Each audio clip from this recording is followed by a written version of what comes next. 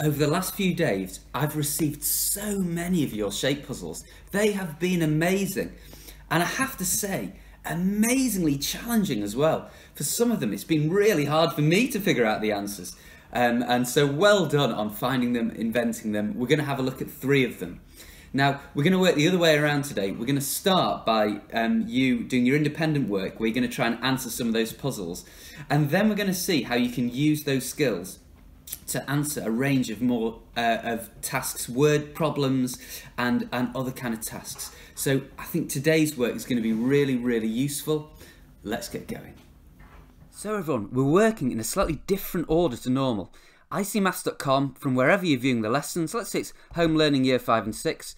Uh, and just like normal, if you look from wherever you're watching the video, if you look at the link underneath and you click on uh, click on that link, it will bring up today's task. We're actually going to start here today. So my suggestion is you choose two of these three puzzles to have a go at. Um, they're fantastic. The last one, eye-wateringly difficult. Um, now, there aren't any answers today either. Um, the answers will actually be broken down and shown on the video. Now, if you need any help with the puzzles, if you're really stuck, you might watch part of the video and showing those tasks being broken down and then complete the rest of the puzzle. But enjoy the three cracking tasks. So let's have a look at these three questions. Hopefully you've already had a really good go at at least two of them. Let's have a look at the thought process behind answering them. Uh, so for this one, I started with the hearts. Three hearts in a row equals 15. Each heart worth 5. 15 divided by 3 is 5. I, I then went for the flower next because I knew that two hearts uh, are 10 and then plus how much more to make 21 flower must be 11 I then went for the cats so I subtracted this 11 from this the value of this row leaving 14 here um, to make 25 so I thought each cat must be worth 7 and then I came to the rainbow. And I actually started from this bottom row here. So I went for 5 plus 7 is 12 and then I, to add the rainbow to make 20 I think the rainbow must be worth an 8 there we go. Um, so oh this was a cracker. Love this one here. Um, there isn't one line with all the shapes in. So what I did I need to compare the lines. And I thought well I've got a circle and two pentagons compared to a circle and three pentagons. So one extra pentagon here uh, than here. So this is 13. That extra pentagon makes this total go from 13 up to 17. So it must be 4.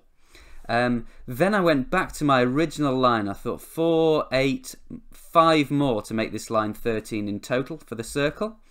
Um, and then just the star, so any line with a star on. Um, let's say, let's go for this one here. So 19 subtract 5 is 14 stars, I think, going to be worth seven. Um, this task was so challenging; it almost made me laugh.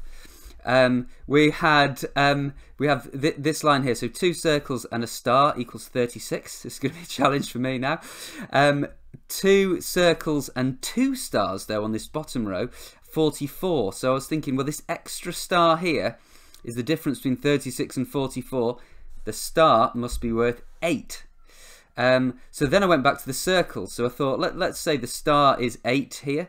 So 36 subtract that 8 um, will get me to 28. So that means 28 divided by those two. Each circle I think is worth 14. Um, then um, let's go for the parallelogram here.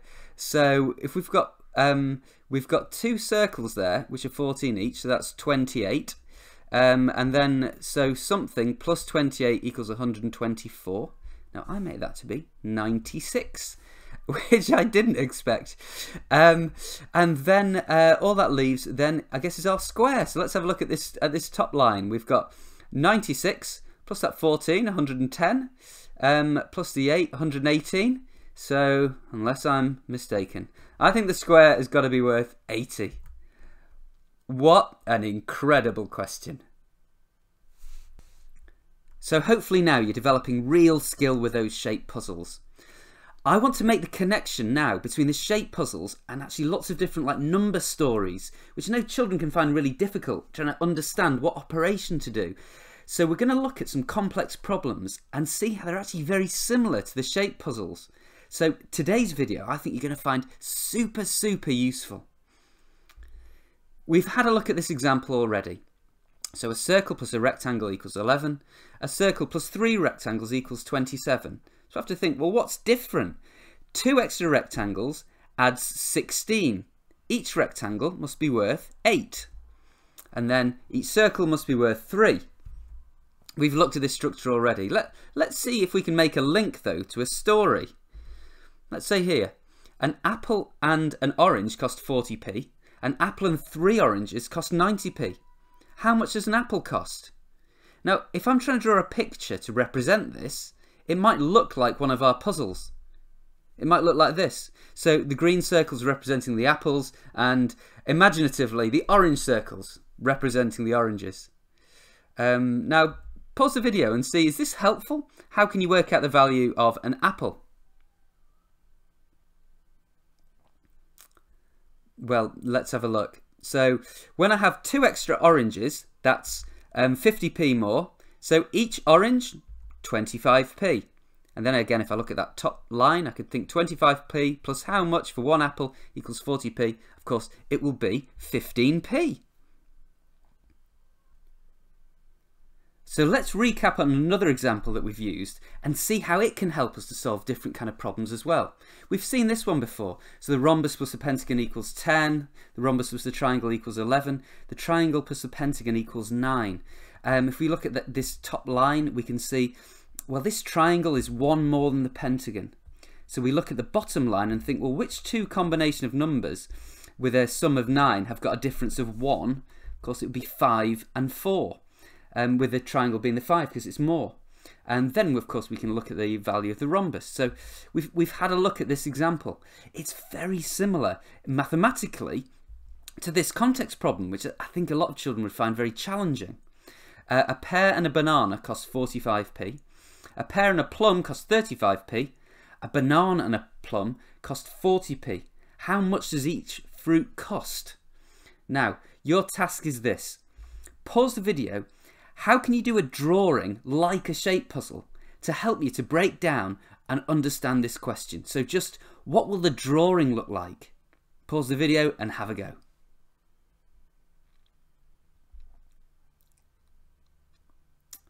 Okay, I'm going to show you my example drawing. Yours might not look the same, but this is what mine looked like. I went for um, a green circle plus a yellow circle equals 45. So the green circle represents the pear and the yellow one represents the banana. Um, green circle plus uh, red circle equals 35, so the red circle is the plum. And then again, I finished with my banana and my plum here that equal 40p. Can you see, really, it's the same as, as the example we looked at before. Um, so then, let, let's say if I'm looking, the green circle's the same. So if I compare my red to my yellow, I can see that my red is 10 less than my yellow because that difference between 45 and 35 is 10p. So I've got these two fruits. The banana is more and it's 10p more um, than the plum. And so then using the technique we've looked at in a previous video, I've got to think, well, the difference is 10p, the sum is 40p. Um, so then the banana must be 25p and the plum must be 15p. Um, then I can use that to think, well, the pear then, just complete that number sentence, it must be worth 20p. I hope you can see how these different maths ideas are actually connected. Now, there's no other work for you to go away and do. We're going to pick up this theme again tomorrow. And again, hopefully, you're going to find it super, super helpful to answer lots of different types of maths problems. I will see you back here again tomorrow and well done for getting this far.